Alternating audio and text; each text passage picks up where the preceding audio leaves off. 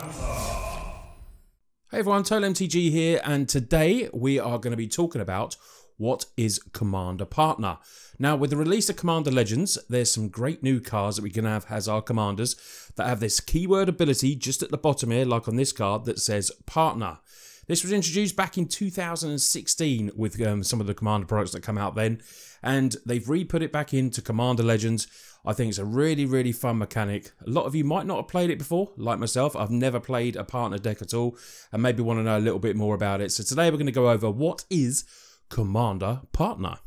So what is Commander Partner? Well, it's that little keyword ability, as you can see as some of my decadent pulls from my Commander Legend box here. That little bit of keyword ability there, which says Partner, you can have two commanders if both have Commander.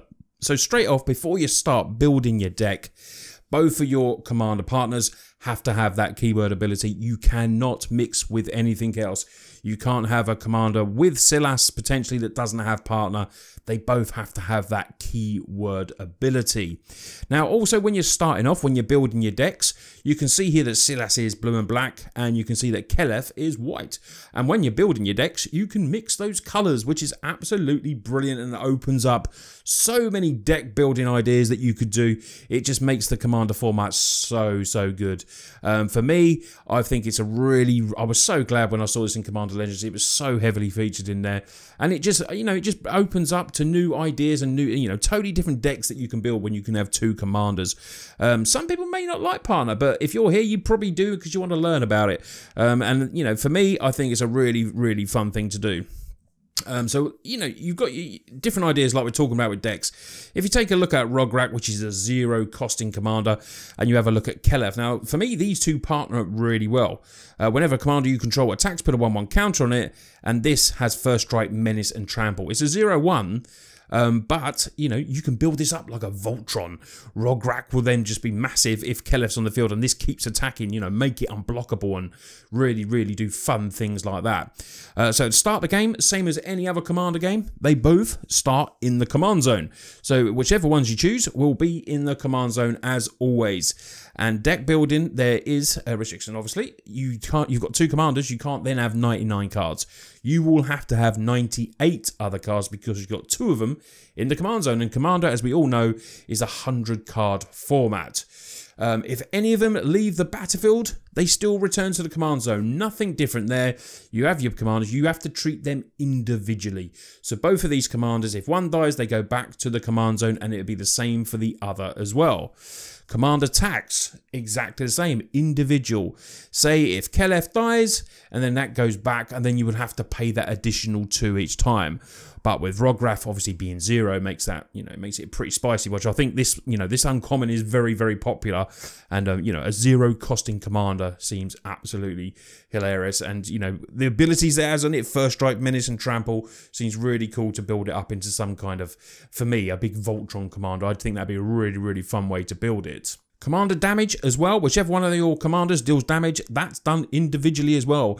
It's very individual for partners. It's quite funny actually. Um, so yeah, so say Elgriff does some damage. You're trying to get to that 21 damage or more to your opponent.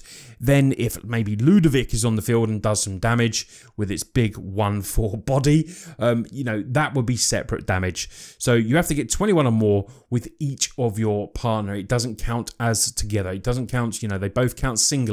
So, you know, you have to be wary of that. You know, you know, don't make any mistakes in attacking with a separate one thinking, yes, I've won and make that move. Then all of a sudden you're like, nope, that's a separate commander. So, yep, that is the way that has to happen. One last thing to remember is if any card refers to your commander or commanders in general, it means either one of the two. So you have to remember that if you're saying pump up your commander, you can't actually pump up both. You will be able to just pump up Silas. You know, I'm just using that as an example. You can only then obviously hit one of your commanders that way. There's a lot of individual stuff going on, but you still, it's quite funny that it's called partner. I do like that. They do partner up in the command zone and apparently, you know, sometimes potentially on the battlefield as well. but everything else is treated basically as individual, uh, which is, you know, is the right way. Imagine how broken it would be if you could attack with this commander and that commander and still get the double damage. You'd be attacking maybe both in the same turn, and you could potentially kill someone in one swoop, which obviously you can do with one commander anyway, and a big Voltron or maybe something else like that. Um, but yeah, I think that would be um, decidedly broken, and um, people would definitely, definitely be up in arms and complaining about that. So this has just been a little introduction into what is Commander Partner and just showing off my absolutely lovely etch foils that I love.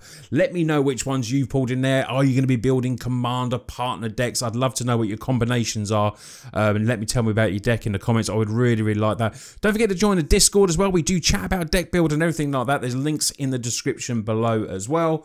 Big shout out to all my Patreons. Thank you very much. And a new Patreon, Mr. Bevers as well. Thank you for joining. And anyway, you lot take care, and I'll see you on the next video.